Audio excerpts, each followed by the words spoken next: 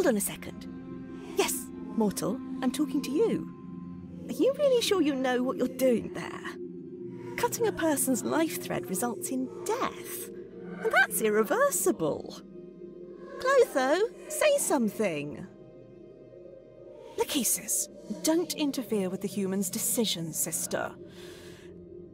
As goddesses of fate, we are supposed to remain neutral observers. Am I right, Atropos? Atropos reminded her sisters that they were arguing to no avail. The mortal's choice had been predetermined long ago.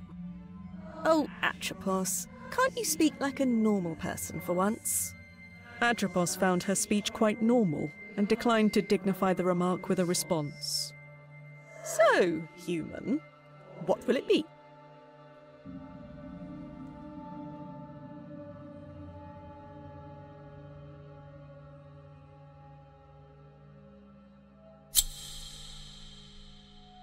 Don't like this part of the story.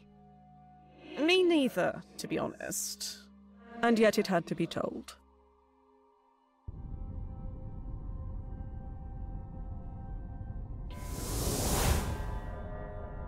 What? Wait. I remember this place. We were here together, many times.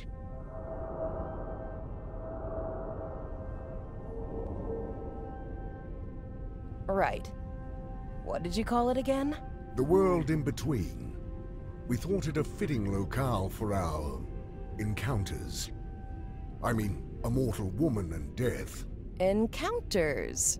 Ah, charming as always, Thanatos. These shadows on the wall. Are they the souls you couldn't... Yes. They are trapped here forever, reminding me of my mistake. You have to forgive yourself, Thanatos. I would much prefer to leave the past in the past. You won't ever change, will you? Death is as unchangeable as it is inevitable. Now show yourself already! Ugh, there's no reason to put on an act with me. Hello, Morwen.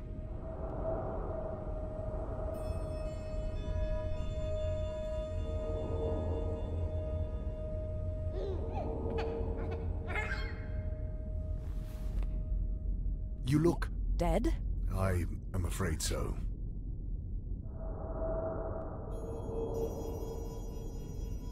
What about Prim? Is she... The child is all right. There is no need to worry. No, she's not. She needs someone by her side. Especially now. Remember what the Goddesses of Fate said when she was born? A power over life and death would awaken in her, as soon as... As soon as she turns 16, I know. Forgetting things is not in my nature. Listen to me. Up until now, it wasn't a problem for you to keep to yourself and do your thing. We got along just fine without you. But now, now things have changed. She needs help. Well, um, I have heard the orphanages these days are not as bad as people make them out to be. Is this all a cosmic joke to you? She's your daughter, too. How am I supposed to take care of a child? You know who I am. I know you have your responsibilities, but your daughter is one of them now. She needs you. I need you. So you'll have to find a way to make it work. Promise me you'll take care of her. I... Promise me! So be it. I promise. Good. You be nice to her, you hear? Fine. I will try. Then I think I'm ready for whatever comes next. Goodbye, Morwen. Safe travels.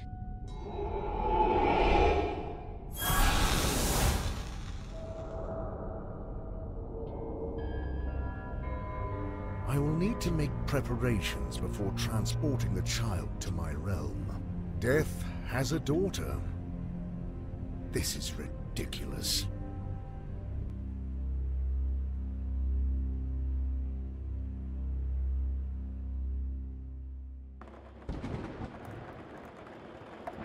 In the land of the living, Prim didn't have the slightest idea that Thanatos, the god of death, was already on his way to her. The girl's mind was engulfed in a haze of grief, for her beloved mother, Morwen, had passed away in a terrible accident only weeks before. Mourning makes mortals do strange things. In Prim's case, she did what any 15 year old would do Go go, somewhere somewhere, forbidden. forbidden.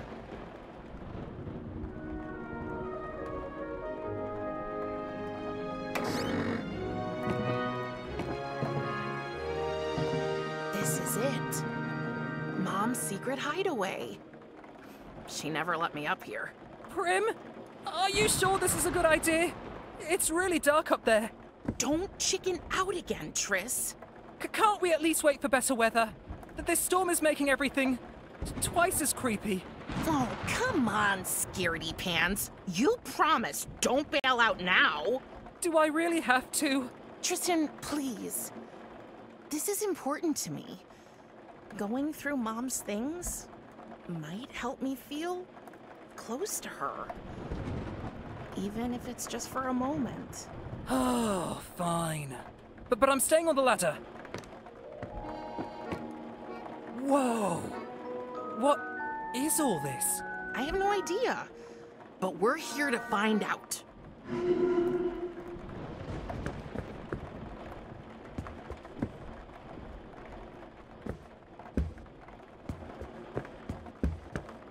Hmm.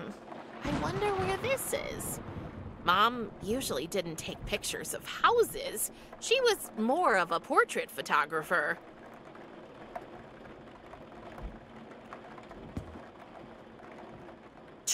Behind you, a, a three-headed dog. A what? Don't worry, it already ate a little kid today. Ha. Ha.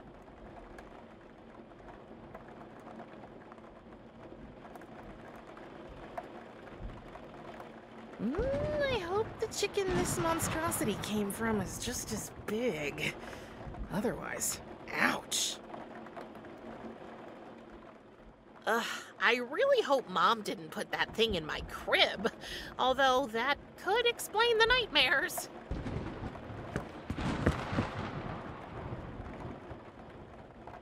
I never knew Mom was into music. It probably wasn't hers. Hmm, strange. The floor makes a different sound here. The floor at our house does that all the time. And you should really get that fixed. It drives me up a wall. Madame can move to a hotel anytime she pleases. Ha ha. You do know I'm thankful you and your family took me in. I mean it. Even with my dad doing his weird magic tricks all the time. It's so embarrassing. A price I'm willing to pay to avoid homelessness. And to live with your best friend. yes, that too. Hey, I mean, at least you know your dad. Mom never told me anything about mine. So, what's this under my feet?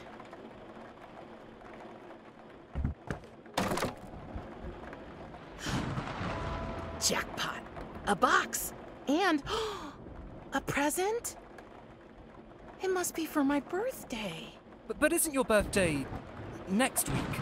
In three days and two hours, to be precise. Mom planned ahead. Oh. It's like these things were waiting here for me.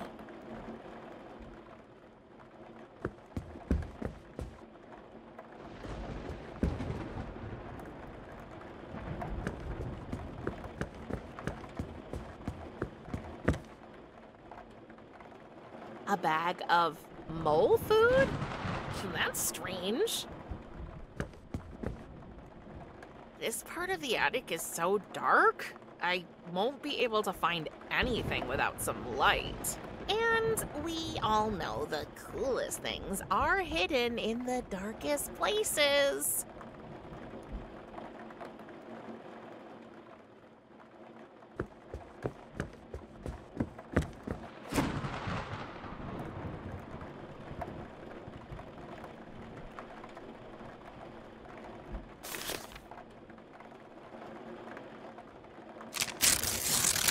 Mom's camera. It meant the world to her, and she wanted me to have it.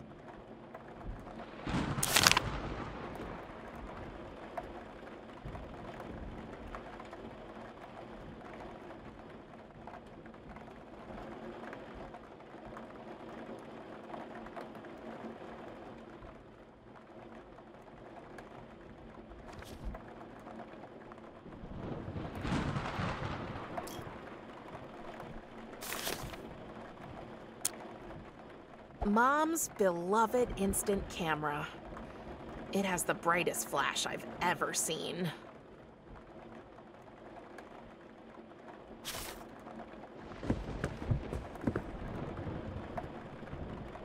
Hmm, what a strange box.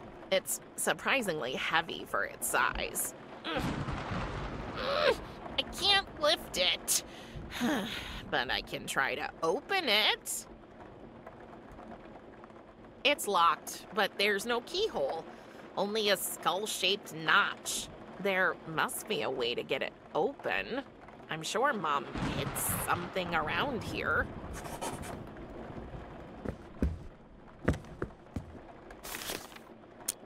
Mom's beloved.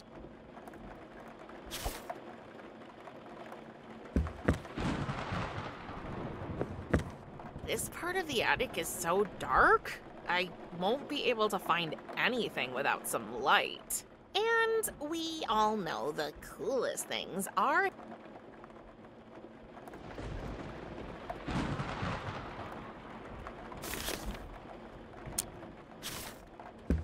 Let's see if we can shed some light on the matter. Oh, it looks like the batteries are dead. I should ask Tristan if he can get me some.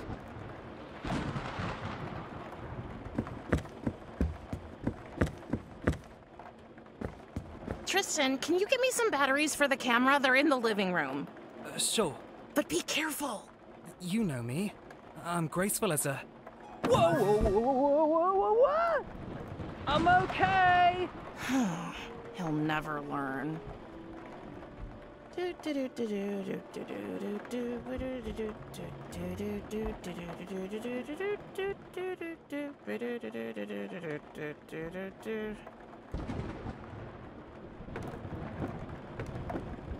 Here's the batteries and a cookie. Thanks.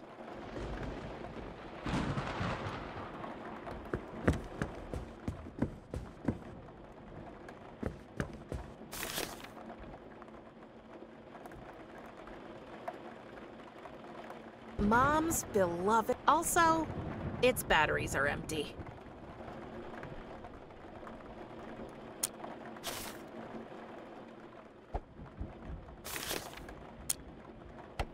That should do the trick. Let's try it again. I should have a look at the photo. Maybe I can spot something interesting.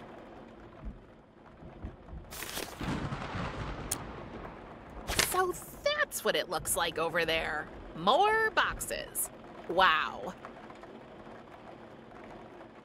But wait, what's that shiny thing? Hmm, something must have reflected the flash. I'm sure I can find it in the dark now.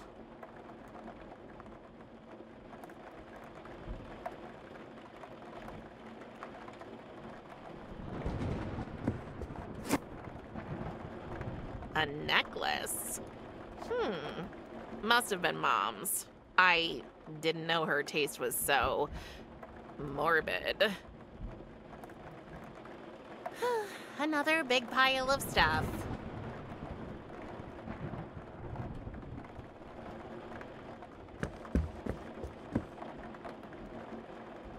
It's locked, but there's no keyhole. Only a skull-shaped notch. There must be a way to get it open. I'm sure Mom hid something around here.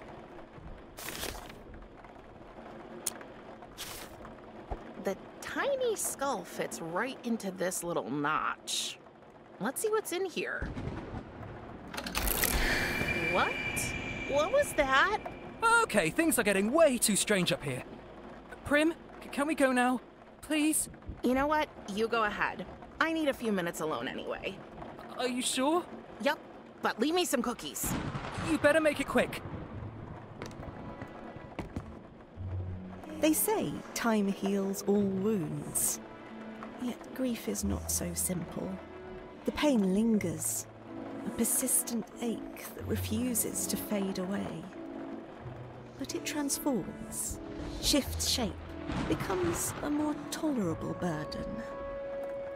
The comfort of a friend, a soft bed, or a plate of cookies can make all the difference in the world. Because let's face it, cookies make everything better. It's full of instant photos. What a surprise! Mom took her camera with her everywhere, and guess who was her favorite subject? Oh, here she is. My mom, Morwen. Beautiful, wasn't she? Oh, that was after Tristan's weird obsession with becoming a rope dancer. Didn't end too well for him, to no one's surprise. He really is one big doofus. But he's my doofus. what the heck? Who is this? Okay. Oh, what's that shining behind those boxes? What's that strange light?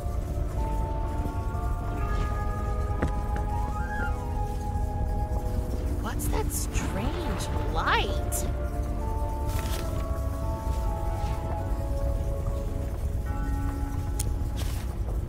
I don't want to take a photo of this.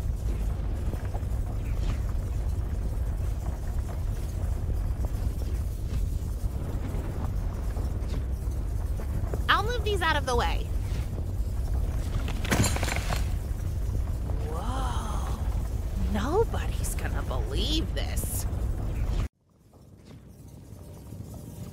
Curious, but not without fear, Prim approached the circle of light that had manifested right in front of her. Before she could reach it, there he was. Out of the portal stepped a hooded skeleton with eyes as black as the darkest night. And in a voice that sounded more in Prim's head than in her ears, the monster spoke to her. I am Death, your father. And from now on, you are my ward. Humans have absolutely no idea what to do when they encounter the Grim Reaper. So, after carefully weighing up all their options, most of them pick the obvious thing and just drop dead. In Prim's case, Thanatos had made sure that wouldn't happen. Thus, when she met him, she only died a little bit. And she changed. Just enough so that he could take her to his realm.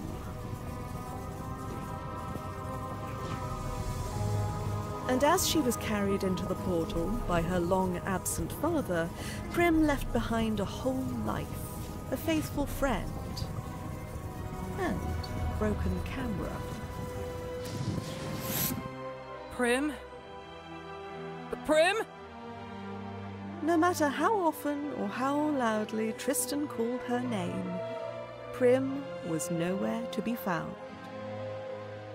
Oh, poor dear. Little did Prim know she had been transported to a place where mortals can only go once their life has come to an end. The realm of, the dead. dead.